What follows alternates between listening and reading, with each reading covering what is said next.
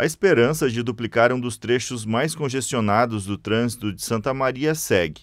Os 9 quilômetros da faixa nova de Camobi ficaram fora da concessão para pedágios da RSC 287, mas a proposta de duplicação desse trecho urbano de Santa Maria está tramitando no governo do estado.